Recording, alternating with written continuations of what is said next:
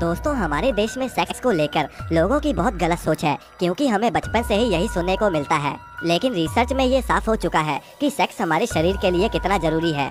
अब दोस्तों सेक्स के फ़ायदे और नुकसान के बारे में तो हर कोई बात करता है। लेकिन क्या आपने कभी सोचा है कि आखिर जो कभी सेक्स ना करे, उसके शरीर में क्या होगा? और क्या इसकी वजह से हमारे जीवन में फ़िज़िकल और मेंटल प्रॉब्लम भी हो सकती है? और साथ ही में हम ये भी जानेंगे कि आखिर हमारे जीवन में सेक्स इतना इम्पोर्टेंट क्यों होता है? बस आप वीडियो के लास्ट तक हमारे साथ बने रहिए। तो चलिए वीडियो को शुरू करते हैं। वैसे दोस्तों, जानवरों के लिए सबसे ज़रूरी चीज़ सेक्स और खाना ही मानी जाती है।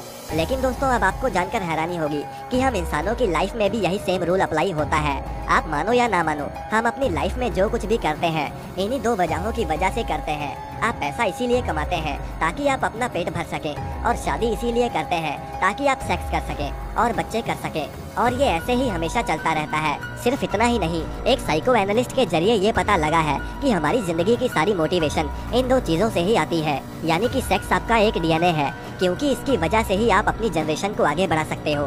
दोस्तों हमारा शरीर एक मशीन की तरह है जिसका हर एक पार्ट एक दूसरे को प्रभावित करता है और हमारे शरीर के हर अंग की अपनी एक ज़रूरत होती है। और अगर इन जरूरतों को पूरा ना किया जाए तो बॉडी के बाकी पार्ट्स भी सही से काम नहीं करते।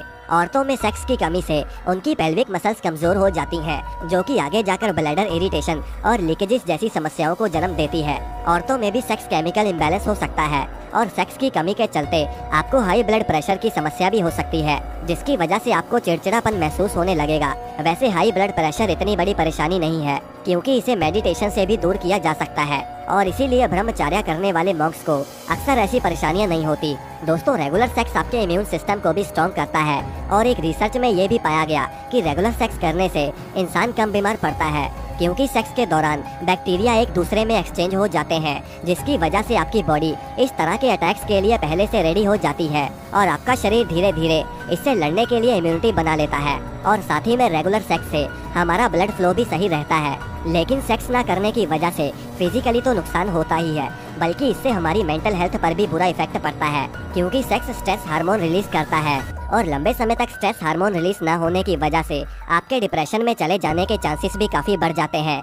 इसके अलावा ऑक्सीटॉक्सिन और डोपामाइन जैसे हार्मोन्स का बॉडी में कम रिलीज़ होना आपको खुश रहने से भी रोकता है और लंबे समय तक सेक्स ना करने की वजह से आप बहुत डिमोटिवेट फील करेंगे। आपका कुछ भी करने का मन नहीं करेगा, क्योंकि न सिर्फ़ आपकी बॉडी बल्कि आपके दिमाग को भी स्टिमुलेशन की बहुत ज़्यादा ज़रूरत होती है। ऐसा तब मुमकिन है जब आपको पता भी ना चले कि आपके शरीर को किस चीज़ की ज़रूरत है। और आप उसी कंडीशन में सालों तक रहें। सिर्फ़ इतना ही नहीं रेगुलर सेक्स ना करना आपको इनसिक्योर और आइसोलेटेड फील करा सकता है। और अगर आप लंबे समय तक सेक्स नहीं करते तो आप डेली लेने वाले डिसीज़न में भी कतराने लगोगे। और धीरे धीरे करके आप ऐसी कंडीशन में भी पहुँच सकते हो, जहाँ पर आप किसी से भी कोई संबंध रखना ही बंद कर दें। अब दोस्तों, आपके मन में ये सवाल ज़रूर आया होगा कि कई मंक और ब्रह्मचार्य अपनाने वाले तो सेक्स करते ही नहीं तो क्या उन सभी को भी ऐसी परेशानियाँ होंगी? तो दोस्तों, इसका जवाब है नहीं, क्योंकि हर किसी का शरीर अलग होता है और इसका असर भी हर इंसान पर अलग अलग पड़ता है।